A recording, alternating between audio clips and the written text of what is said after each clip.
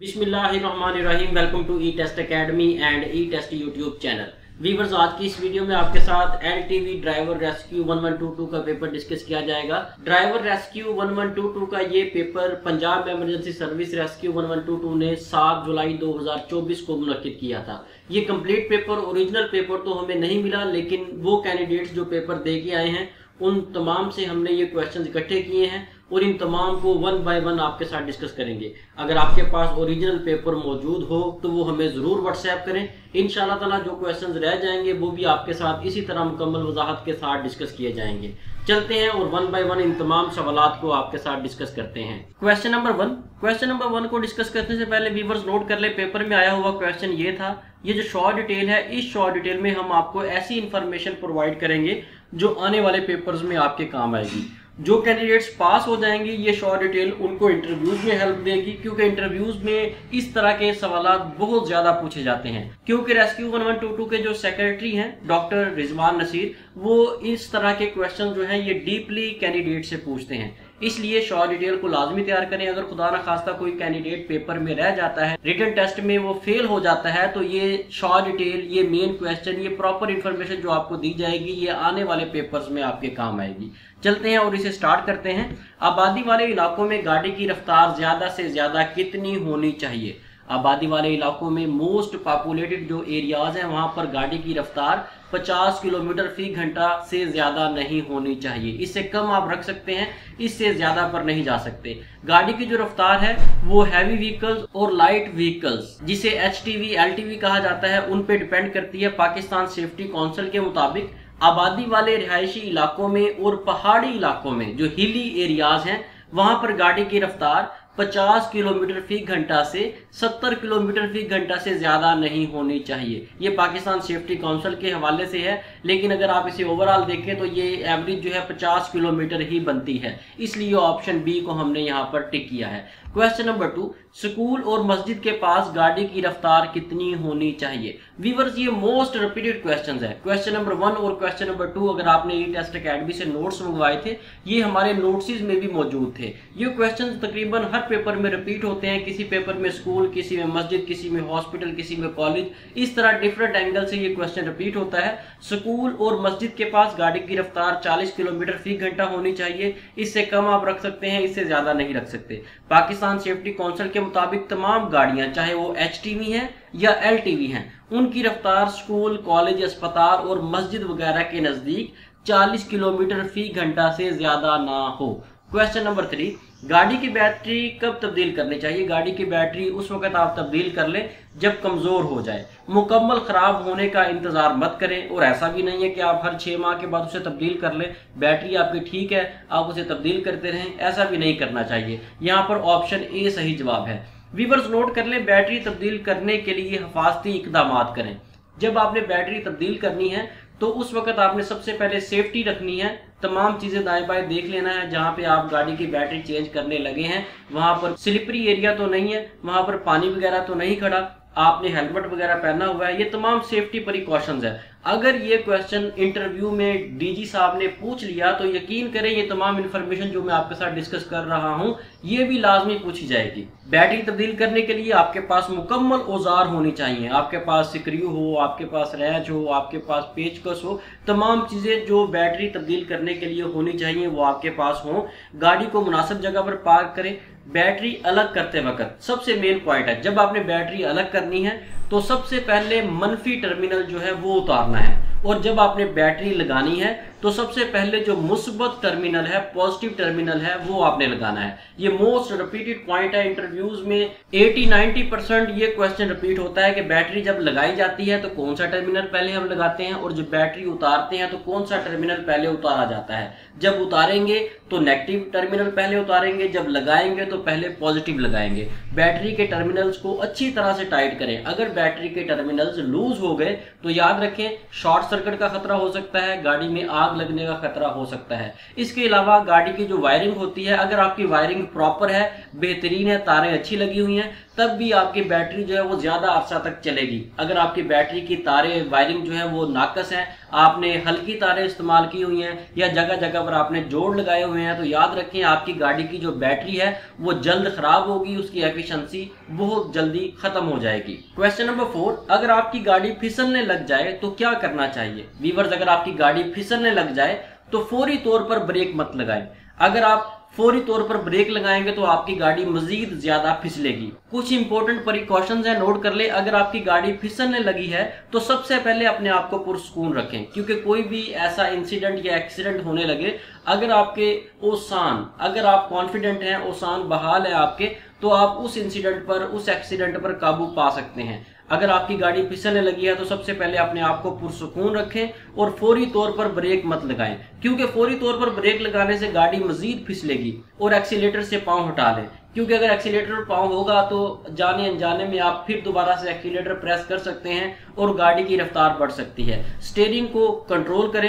جس سائیڈ پر گاڑی کا پچھلا حصہ پھسل رہا ہے نوٹ کیجیے گا، جس سائیڈ پر گاڑی کا پچھلا حصہ بیک سائیڈ پھسل رہی ہے، اس سائیڈ پر آپ نے سٹیرنگ کو گھمانا ہے۔ اگر آپ اس سائڈ پر سٹیرنگ کو گھمائیں گے تو گاڑی کے پھسلنے کی رفتار جو ہے وہ کم ہو جائے گی۔ اور اگر آپ کی گاڑی میں اینٹی لاک بریک سسٹم ہے، جسے اے بی ایس کہا جاتا ہے تو آہستہ آہستہ بریک کو پکڑیں چھوڑیں۔ ہلکا سا پاؤں رکھیں پھر چھوڑ دیں۔ ہلکا سا پاؤں رکھیں پھر چھوڑ دیں۔ اس طرح آپ کی گاڑی جو ہے وہ پھسلنے سے بچ سکتی ہے۔ ویورز، اگر آپ سمجھتے ہیں کہ اس ویڈیو کو دیکھنے سے آپ کو فائدہ ہوگا، آپ کو فائدہ ہو رہا ہے اور فیوچر میں یہ ویڈیو آپ کے لیے بینیفیشیل ہے، تو ویڈیو کو لائک ضرور کریں اور ہماری ٹیم کی حوصلہ افزائی کے لیے کمنٹس میں پیارا سا کمنٹ ضرور کیا کریں۔ آپ جانتے ہیں کہ یہ پیپر کس طرح سے ہم نے آپ لوگوں سے ون بائی ون ایک ایک بندے سے ایک ایک کوشچن ہم نے اکٹھا کیا اور آپ کے سامنے یہ ویڈیو جو ہے یہ پروڈیوس کی ہے۔ اس ایک ویڈیو کو، ایک پیپر کو بنانے میں سالو کرنے میں، اس کو ڈیزائن کرنے میں اس کو اپلوڈ کرنے میں کم از کم چار سے پانچ گھنٹے لگتے ہیں۔ اس لیے ٹیم کی حوصلہ افزائی ضرور کیا کریں۔ آپ کی حوصلہ افزائی ہمارے ساتھ ہوگی۔ تو فیوچر میں آپ کو اس طرح کی موسٹ امپورٹنٹ ویڈیو ہم پرووائڈ کرتے رہیں گے۔ ای ٹیسٹ اکیڈمی کا E test YouTube channel subscribe کر لیں تاکہ فیوچر میں اس طرح کی ویڈیوز آپ کو ملتی رہیں۔ اس کے ساتھ ساتھ ویورز نوٹ کر لیں ای ٹیسٹ اکیڈمی نے driver rescue one one two two papers کی تیاری کے لیے گائیڈ تیار کی تھی نوٹس تیار کیے تھے۔ ان نوٹس میں موجودہ سات جولائی دو ہزار چوبیس کا مکمل پیپر شامل کر دیا گیا ہے۔ اگر آپ up to date driver rescue one one two two کی یہ پیپر یہ گائیڈ یہ نوٹس بذریعہ ڈاک منگوانا چاہتے ہیں، تو ای ٹیسٹ اکیڈمی سے رابطہ کریں اور گھر بیٹھے یہ نوٹس بذریعہ ڈاک حاصل کریں۔ ای ٹیسٹ اکیڈمی نے جو سائیکو میٹرک کے پیپرز بنائے تھے، جو نوٹس تیار کیے تھے، الحمدللہ ninety two ninety five percent paper جو ہے اسی کے مطابق آیا ہے اور اسی گیس پیپرز میں سے آیا ہے۔ انشاءاللہ تعالی فیوچر میں بھی ہمارے یہ نوٹس آپ کے لیے موسٹ ہیلپ فل ثابت ہوں گے۔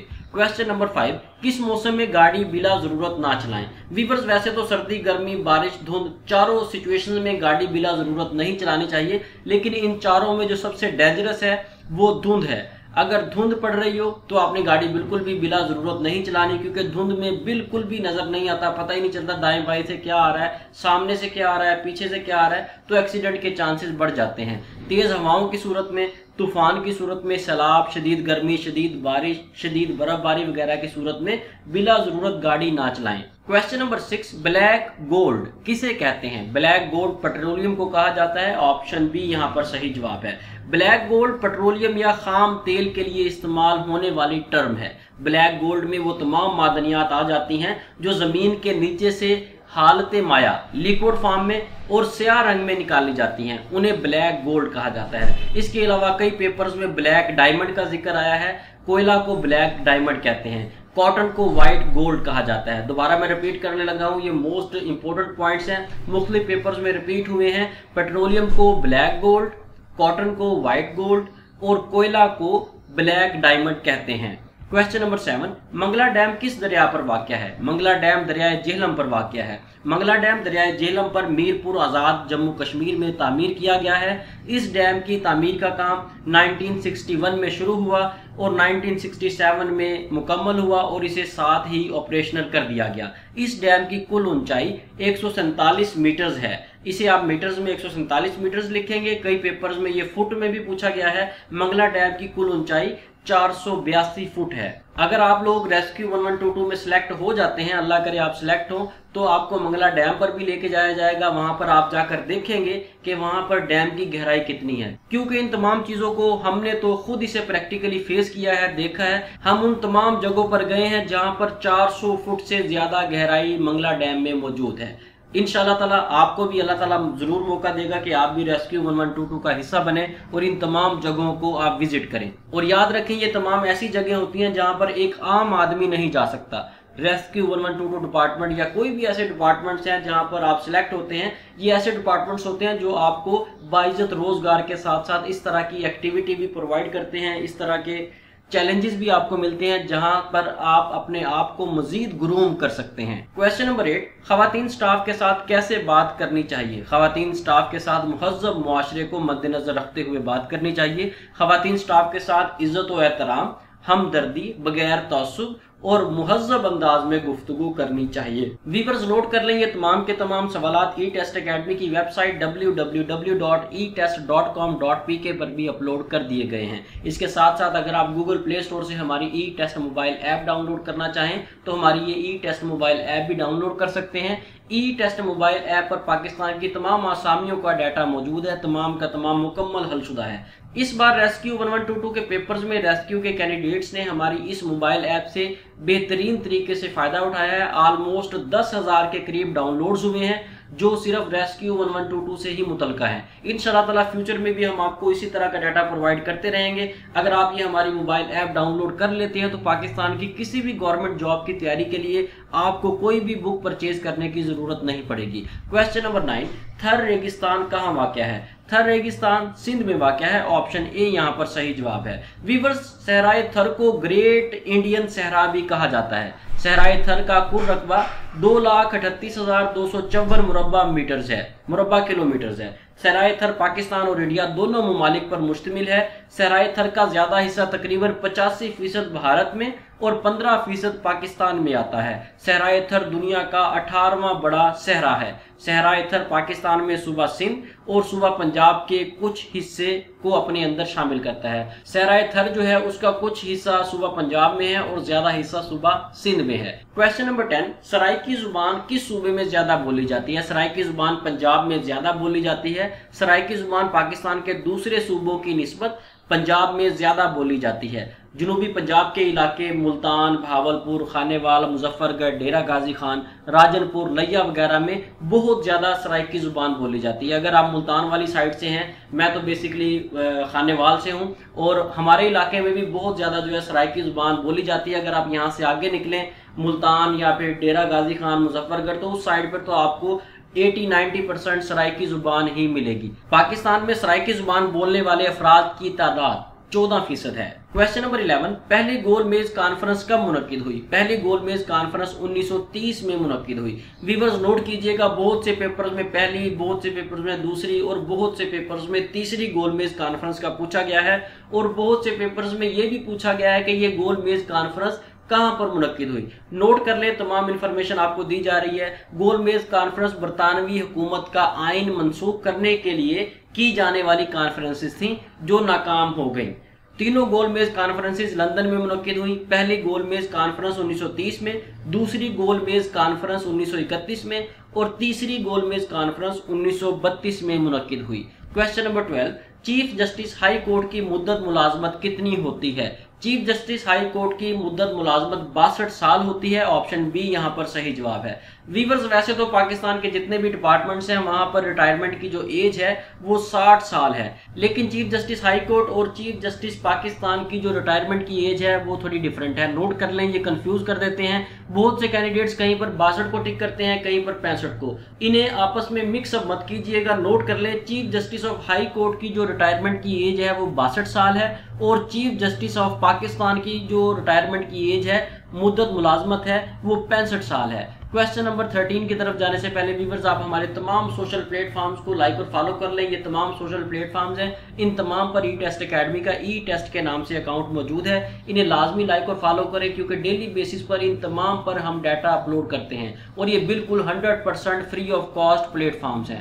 کویشچن نمبر 13 ہائی کورٹ کے جج کو کون تعینات کرتا ہے؟ ہائی کورٹ کے جج کو چیف جسٹس آف پاکستان تعینات کرتا ہے۔ ہائی کورٹ کے جج کی تعیناتی کے وقت اس کی عمر کم از کم بتیس سال ہو اور زیادہ سے زیادہ پینتالیس سال ہو۔ پینتالیس سال سے زیادہ ہو تو وہ بھی ہائی کورٹ کے جج کے طور پر اپلائی نہیں کر سکتا۔ اور اگر بتیس سال سے کم ہوگی تب بھی وہ کینڈیڈیٹ ہائی کورٹ کے جج کے طور پر اپلائی نہیں کر سکتا۔ چیف جسٹس آف پاکستان کو براہ راست صدر پاکستان منتخب کرتا ہے۔ جبکہ اس کے علاوہ تمام ججز کو چیف جسٹس آف پاکستان صدر پاکستان کی منظوری سے تعینات کرتا ہے۔ Question number fourteen most repeated M C Qs ہے بہت سے پیپرز میں یہ کوشچن ریپیٹ ہوا ہے. کسی پیپر میں پاکستان کا قومی پھول، کسی میں لباس، کسی میں سبزی، کسی میں پھل، اس طرح سے یہ question repeated ہے۔ تقریباً almost 99% پرسنٹ پیپرز میں یہ question repeat ہوا ہے۔ پاکستان کا قومی جانور مارخور ہے، پاکستان کا قومی پھول چمبیلی ہے، پاکستان کا قومی لباس شلوار کمیز ہے، پاکستان کی قومی سبزی بھنڈی ہے، پاکستان کا قومی پھل عام ہے، پاکستان کی قومی مٹھائی گلاب جامن ہے، پاکستان کا قومی جوس گنے کا جوس ہے، پاکستان کا قومی شاعر علامہ محمد اقبال ہے، پاکستان کا قومی ہیرو قائد اعظم محمد علی جینا ہے پاکستان کی قومی مسجد فیصل مسجد ہے۔ ویورز، یہ دو تین پوائنٹس یہاں پر لکھے نہیں ہوئے، اپنے پاس نوٹ ضرور کر لیں، لیکن یہ نوٹس میں ہم شامل کر دیں گے۔ یہ آنے والے پیپرز میں انٹرویوز میں آپ کے کام آئیں گے۔ اسپیشلی اس کویشچن کو، اور شروع والے جو ایک دو کویشچنس تھے، انہیں لازمی دیکھ لیجیے گا۔ کیونکہ انٹرویوز میں اگر آپ سے فار ایگزامپل پوچھ لیا جاتا ہے کہ پاکستان کا قومی جانور کیا ہے، آپ بتا دیتے ہیں۔ اس کے بعد پھر وہ آپ سے پاکستان کی دوسری، تیسری، چوتھی، اس طرح مختلف قومی چیزیں پوچھ سکتے ہیں۔ کویشچن نمبر ففٹین اولیا کا شہر پاکستان کے کس شہر کو کہا جاتا ہے؟ اولیا کرام کا شہر پاکستان کے شہر ملتان کو کہا جاتا ہے۔ اس کے علاوہ پاکستان کے مختلف شہروں کے نام مختلف پیپرز میں رپیٹ ہوئے ہیں۔ نوٹ کر لیں، سرگودا کو شاہینوں کا شہر کہا جاتا ہے، کراچی کو روشنیوں کا شہر کہا جاتا ہے، لاہور کو کالجز کا شہر کہا جاتا ہے، لاہور کو باغوں کا شہر بھی کہتے ہیں۔ پشاور کو پھولوں کا شہر کہا جاتا ہے۔ اس کے ساتھ ہی ویورز ہمیں اجازت دیں۔ انشاءاللہ نیکسٹ ویڈیو میں L T V driver rescue one one two two paper کے پارٹ ٹو کے ساتھ دوبارہ حاضر ہوں گے۔ اگر آپ کے پاس مزید سوالات ہیں تو پلیز ہمیں وہ لازمی سینڈ کریں تاکہ نیکسٹ پارٹ جو ہم نے اس ویڈیو کے تقریباً تھوڑی دیر کے بعد ہی اپلوڈ کر دینا ہے، اس کے بعد جو آپ نے مزید سوال بھیجے ہوں گے، اس کو بھی ہم نیکسٹ پارٹ میں ایڈ کر سکیں اور آپ کو مکمل سلیوشن پرووائڈ کر سکیں۔ ای ٹیسٹ اکیڈمی کا یہ E test YouTube channel subscribe کر لیں تاکہ فیوچر فیوچر میں جتنے بھی ہم پارٹس جتنے بھی سالو پیپرز اپلوڈ کریں، ان تمام کا نوٹیفیکیشن آپ کو مل سکے۔ اللہ حافظ۔